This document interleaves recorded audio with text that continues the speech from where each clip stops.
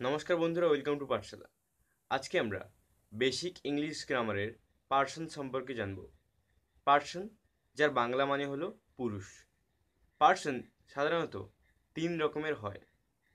এক নম্বর হলো first person যার বাংলা মানে হলো উত্তম পুরুষ। সেকেন্ড পার্সন মানে হলো মধ্যম পুরুষ এবং থার্ড পার্সন মানে হলো প্রথম পুরুষ। তাহলে ইংরেজিতে সাধারণত তিনটে পার্সন হয়। সেটা হচ্ছে first person second person third person first পার্সনের বাংলা মানে হলো উত্তম পুরুষ সেকেন্ড পার্সনের বাংলা মানে হলো মধ্যম পুরুষ এবং থার্ড পার্সনের বাংলা মানে হলো প্রথম পুরুষ. সো এখানে আমরা জানতে পারলাম যে পার্সন মানে পুরুষ। আমরা সাধারণত সমাজে যে পুরুষ, মহিলা ভাগ করি, এখানে কিন্তু সেই পুরুষ নয়। এই পুরুষটা একটু আলাদা।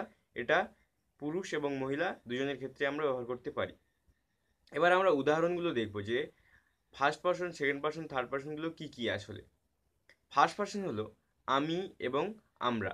আমি হচ্ছে সিঙ্গুলার নাম্বার বা এক বচন, আমরা হচ্ছে প্লুরাল নাম্বার বা বহুবচন আমরা আমির ইংরেজি জানি আই এবং আমরার ইংরেজি হলো উই। আই এবং উই, এই দুটো হলো ফার্স্ট পার্সন বা উত্তম পুরুষ।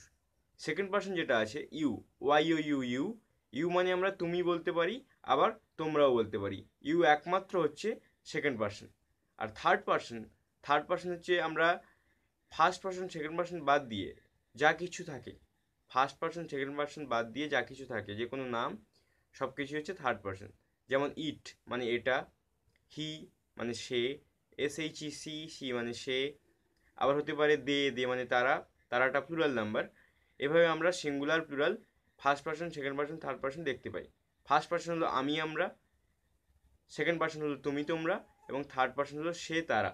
এভাবে আমরা যে কোনো নামকেও আমরা থার্ড পার্সন ধরতে পারি। তাহলে আমরা জানতে পারলাম আজকের পার্সন কয় প্রকার এবং কী কী? ইংরেজিতে কটা পার্সন হয়? বেশি ইংলিশের আমাদের একটা পার্ট এরপরে আমাদের আরও পার্ট শিখতে হবে, তার জন্য আমাদের চ্যানেলটাকে সাবস্ক্রাইব করতে হবে, আমাদের সঙ্গে থাকতে হবে। তাহলে আমরা একটু একটু করে আরও ইংলিশ গ্রামার শিখব। Thank you for watching